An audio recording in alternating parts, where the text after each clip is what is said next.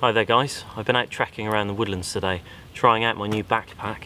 I managed to get hold of a Maxpedition Xantha pack from the United States and it arrived not too long ago and I've kitted it out and organised my gear and headed out into the woodlands today just trekking around just for a few miles just to see how it feels and how it wears and I've been very impressed with it and I will do a review on it soon. This is the Xantha so there's a Zafar as well and the two look very similar, the Zafar being a 28 litre the Xantha is a 32, which is this one, the bigger one.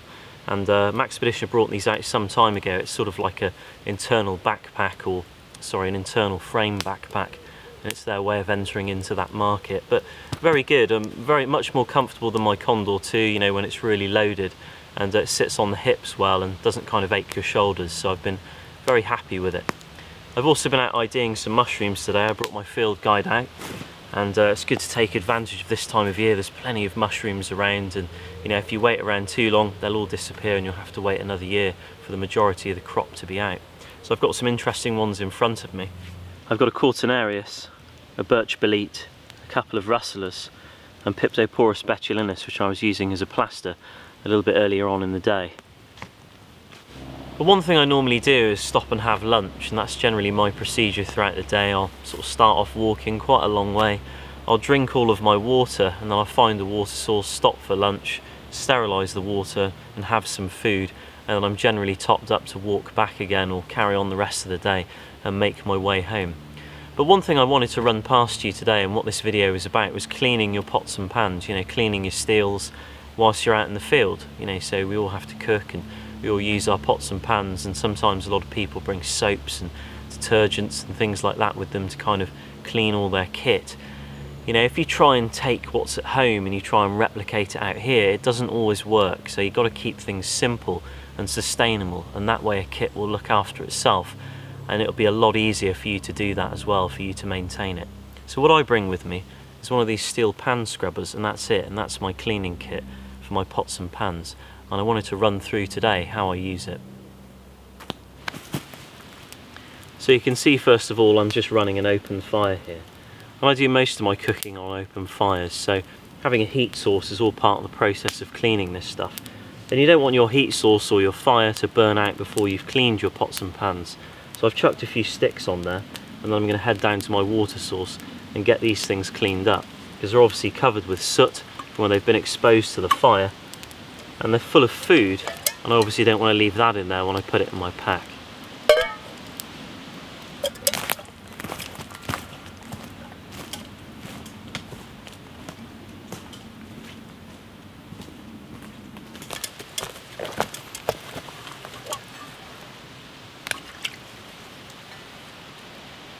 So this is our water source and it's very stagnant and there are little pools like this dotted all over this little stream where it's obviously dried up over the summer because the uh, water levels dropped obviously because there's not been much rain and it's been very hot. In the winter this would be very high and it'd be flowing quite steadily and it'd be a much more reliable water source where you could drink from it um, by taking your container and putting it in facing it downstream and then taking it back up and just sterilising it but when it's like this I would use a bandana and I'd layer that bandana four or five times and fill the container very slowly if I was drinking from it and that would help remove sediment and then I could sterilise it on the fire and it'd be safe to drink and I've done that many a time from water sources just like this one. Some of them have been worse.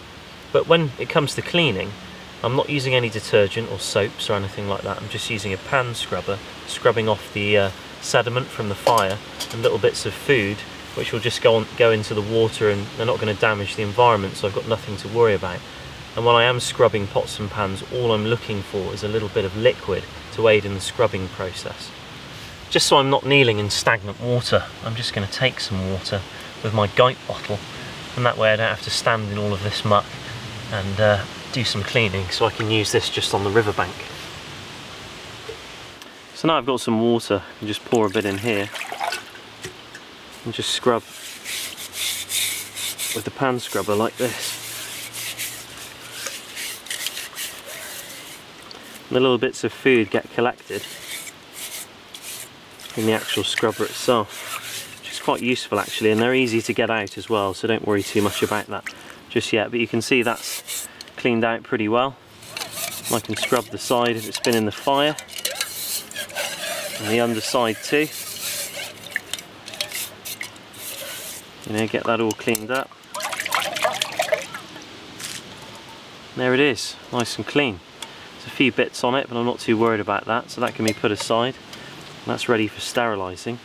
With this Guyot bottle, you might want to scrub off the sediment from the fire, but eventually it gets caked on anyway. I mean, this one's fairly new. You can see it comes off some areas, but not others. So you can take the majority off if you really want to.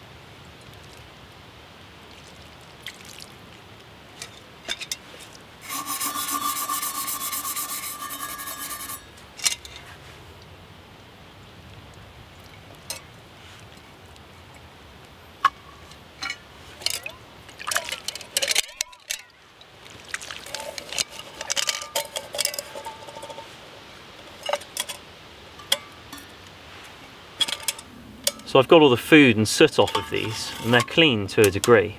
If this was a really fast flowing clean water source and I trusted it, I wouldn't really need to do much else to these, you know, I could just use them as they were. If I was operating around a camp and I wasn't going anywhere, I could leave them to the side and not worry about sterilising them. But because this water source is stagnant and horrible, if I now want to use these, or put them in my pack and leave, I might want to dry them, but uh, more importantly, I want to sterilise these in the fire, you know, to kill anything that's on them from this stagnant water source. And the same can be done with this pan scrubber. You can see you can just shake the water out of these and don't worry about little particles of food. Most of the particles of food have now been removed from that and they've all just been shaken out. So don't worry too much about food getting stuck in them. It does come out very easily. Uh, but this will go in the fire too and become sterile and all of this can then go in my pack dry and clean and ready to use again. So let's go back up to the fire.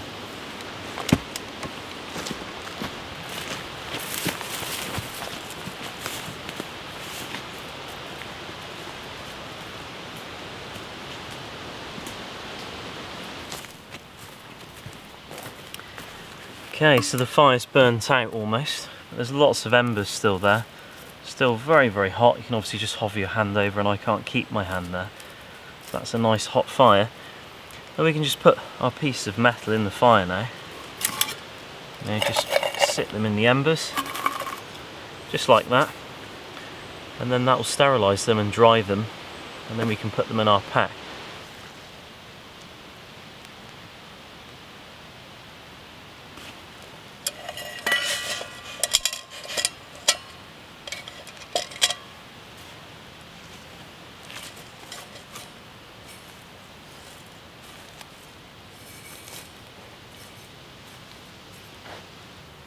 So you can see these are steaming away quite happily. And obviously when the steam stops, all the water's gone. But that doesn't mean you should take them off. It just means you leave them there for a little bit longer. Just to make sure the whole thing is hot to touch, almost too hot to touch. And then you know it's fairly sterile and uh, dry obviously and you can put it back in your pack. But what I will say is just to look after your, your steels. If you have titanium products or thin sheeted products, you don't want to put them on a really, really hot bed of embers or an open flame where they'll begin to warp. Especially really thin titanium products, some of them will warp very badly. When you'll notice in the instructions it says do not put on the fire without anything in it, simply because you don't want it to warp and that's what they're sort of trying to avoid. This Guyot bottle can take a lot of abuse, it's very thick surgical steel. And this thing here, which is very hot now, I don't really care too much about the little scrubber because I can obviously get another one if I leave it there by mistake. But my mug here, um, you can see that's, that's pretty much too hot to touch now. So if I get that out very quickly, um, you can use a stick obviously and not just do what I do and grab it. You can see that that's sterile now and nice and dry and I'll wait for the others to finish and then we can uh, just brush them off and put them in the pack.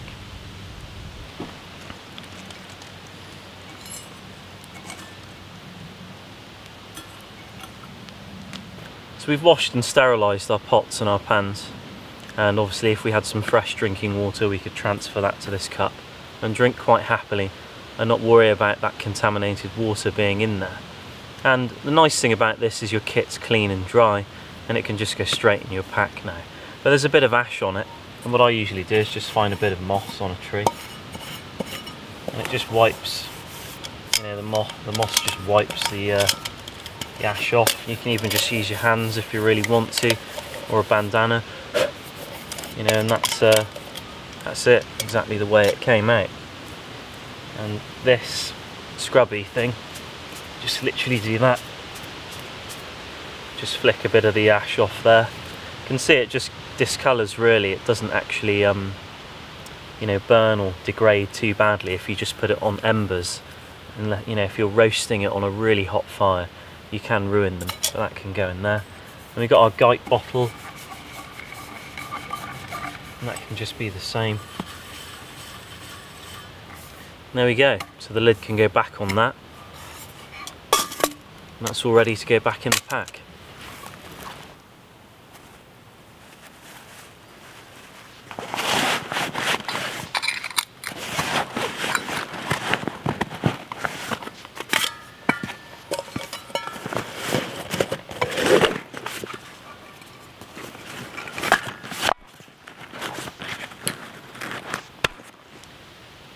If you've got titanium sporks or steel pots and pans, you can obviously put those on the fire and sterilise them. If you've got a wooden spoon like this, you can't do that. You can wash this as I did down at the river and then just leave it to dry for a while and it'll be okay to use, provided it is properly dry and you can leave them around the fire to dry off. But the best thing to do if you are going to use it around the camp again and again and you know you are, is uh, just to kind of not wash it down at that dirty water source and either use some clean water at camp or use your hands or lick off the bits of food and leave it somewhere you know and that way it's never really going to get contaminated. Because I'm not going to be using this for a little while now I know that I can wash it and just take it away with me and not worry about it. But if you are operating a camp you might just want to keep it up here and not expose it to that dirty water. So I hope that video helped out guys with just cleaning pots and pans in the field with minimal kit required and you're not having to rely on any kind of unsustainable soapy stuffs that you're you're buying and bringing out with you that could potentially contaminate water sources. You don't really want them kind of in your kit anyway because it's just another kind of expendable item that you're depending on. If you refine your systems properly you can find really easy ways around things just with the tools you've got out in the field and it can become very very sustainable. Washing kit is, and maintaining kit is very simple it's just you'll find you'll meet a lot of people who don't actually do it when they're out and they leave it till when they get home you know as an excuse for using it in the sink and washing up and stuff. But it's best to do these jobs outdoors because then you really do push your kit and develop it. Even simple stuff like hygiene and washing pots and pans all these little jobs they can often be the most important sometimes and they can really kind of make and break your morale when you're outside just doing jobs around a campfire. It sounds silly but it is true but there are other things you can use if you want to go like fully natural with it. You know, if you want to just take your containers out and go very minimal, you can use sphagnum moss as a pan scrubber. It just doesn't do as rough a job as the, the steel scrubber obviously, but you can use it and it does work just fine. You can also use different types of fungi like that mushroom I used as a plaster earlier, Piptoporus betulinus or birch polypore. That when it gets mature will develop a very kind of yellow, scary, thick layer underneath the bracket of the sporing tubes and if you dry it it'll become like a pumice stone. And if you soak it in water you can soften it up a little bit and it can be a bit more pliable to work with. And you can clean your whole body with one of those and they are very useful just like a sort of mild pumice stone. Brilliant for scrubbing pots and pans as well. So it really just depends on how you want your kit to be structured and what resources you really think are going to be available to you in the environment you're in and obviously of course how long are you going to be out there. So I hope this video helped and uh, thank you for watching again you can always check me out on Twitter. I've got a Twitter account now and I've obviously got a website. So I'll be doing updates on there fairly regularly from now on.